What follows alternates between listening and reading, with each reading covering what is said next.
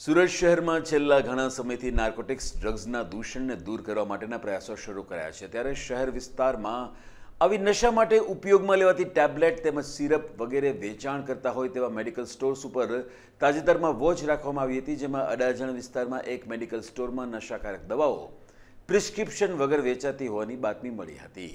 SOG અને police inspector દ્વારા પાંચ અલગ અલગ ટીમ્સ બનાવવી અને ખાનગી રાહે વોચ ગોઠવવી તેવો વ્યૂહ રચવામાં આવ્યો હતો. અડાજણ ભૂલકા ભુવન સ્કૂલ પાસે મયુરી એપાર્ટમેન્ટ દુકાન નંબર સાતમાં કૃષ્ણા મેડિકલ સ્ટોર પર ટ્રેપ ગોઠવી ડમી ગ્રાહકને મોકલવામાં આવ્યો હતો, પરંતુ મેડિકલ સ્ટોરના સંચાલક રમેશ સુજિત્રા કોઈપણ જાતના ડોક્ટરના પ્રિસ્ક્રિપ્શન વગર નશાયુક્ત દવાનું વેચાણ પોતાના મેડિકલ સ્ટોર ઉપરથી કરતા હતા.